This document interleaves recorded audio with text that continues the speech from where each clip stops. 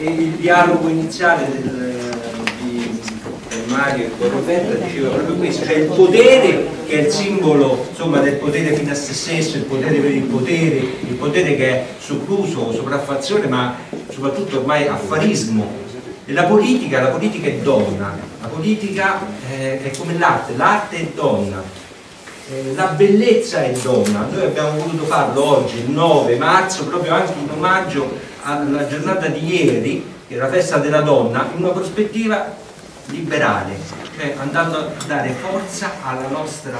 idea di cambiamento dei metodi e dei costumi di una politica che non si può neanche più chiamare politica, ma la possiamo chiamare eh, diciamo,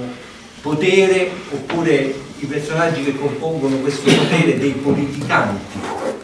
quello che noi pensiamo è che essendo finiti i partiti è sopravvissuta la partitocrazia, la partitocrazia ha fagocitato i partiti stessi, quindi non c'è più possibilità né di rinnovo di classe dirigente né di cambiamento basato sulle virtù, sulle capacità, sulle qualità, sulle attitudini, sul talento di ciascuno, ma c'è tutta una selezione a rovescio che premia spesso i gregari, gli yes men, i mediocri, questo è un pensatoio, il cantiere è un luogo dove c'è la possibilità di pensare. La filosofia della politica, la filosofia della pratica, questo fa il cantiere. E dà, offre idee,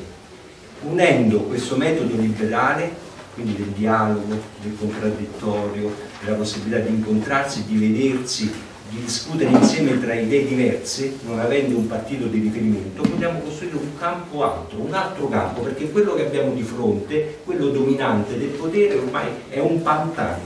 è un, diciamo, un campo di sabbie mobili. La politica è un'arte, l'arte del nuovo possibile, la politica è l'arte del vivere meglio. Bisogna riscoprire l'essenza del, del nostro essere, l'essenza del nostro impegno di partecipazione nella vita politica. Quindi politica è cultura, cultura è politica. Si deve ripartire da capo, bisogna ricostruire, trovare un altro campo, coltivarlo, ripartire proprio dai vocaboli, dalle parole, dal significato delle parole. Se voi vedete in televisione i dibattiti che ci sono, beh, le parole sono svuotate, potrebbero dire una cosa, l'esatto contrario andrebbe bene lo stesso. Le parole hanno perso di senso e noi stiamo riscrivendo l'abecedario della politica, insieme tutti quanti, il dizionario della politica, mettendo la parola e dicendo che cosa significa e cercando di dare di nuovo forza e significato alle cose, perché la tecnica punta a un risultato, ma l'arte ricerca un significato e la politica è un'arte. Se noi riscopriamo la politica in questo senso, quindi come bellezza non è che avremo un futuro migliore. L'unica cosa da fare forse è recuperare anche quello che diceva Luigi Naudi, nostro presidente liberale, che diceva la bellezza della lotta e tutti per tanti anni si sono concentrati sulla parola lotta. Il cantiere ha spostato l'asse e ha detto la parola più importante è la bellezza della lotta, cioè la lotta significa avere anche delle diverse, dialogare, contraddire, cercare nuove motivazioni e avere la, la possibilità di sapere che l'altro potrebbe avere ragione e noi torto. E anzi, attraverso l'altro noi rafforziamo le nostre convinzioni se sono motivate. Se perdiamo la motivazione e ci accorgiamo che stiamo sbagliando, è l'altro che ci dimostra eventualmente se stiamo andando verso una soluzione di verità o se dobbiamo correggere qualcosa. Questo stiamo facendo, ecco perché la nostra associazione eh, inizialmente non avrebbe neanche voluto avere uno statuto o delegati, che siamo stati obbligati per la legge burocratica, noi dobbiamo avere il presidente, eh, il tesoriere, però a noi non interessava. Però per esistere, per non essere considerati dei carbonari, allora abbiamo voluto mettere cariche, ma dei cariche per noi non hanno un significato gerarchico, un significato di, eh, diciamo, eh, di costruzione di potere, ma delle responsabilità, sono delle funzioni. Allora uno ha la funzione del coordinatore, vuol dire che svolgerà questa funzione nella logica del servizio che svolge all'interno dell'associazione, ma l'associazione è una squadra, c'è la mentalità di squadra. Io lavoro per la squadra e la squadra lavora per me, ciascuno pensa così e quindi ognuno cerca di fare per l'altro nell'insieme, nella diversità, perché la diversità è una ricchezza, l'uguaglianza è il valore della diversità. Se manca la diversità si arriva all'omologazione, siamo omologati, cioè tutti con lo stesso parametro. Noi invece vogliamo fare di questa ricchezza un metodo e quello che stiamo cercando di fare è cambiare i metodi. Finché non cambieremo i metodi, i meccanismi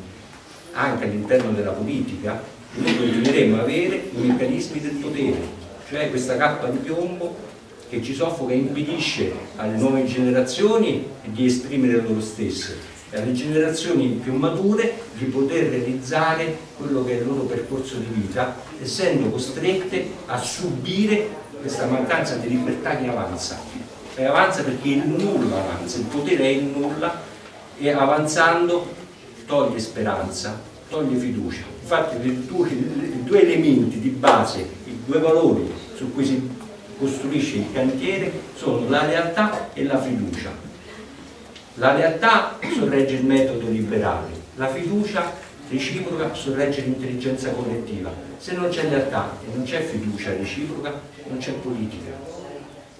E quindi c'è conflitto e non ci può essere la bellezza della lotta, come diceva Einaudi ci può essere soltanto la lotta che diventa conflitto, scontro,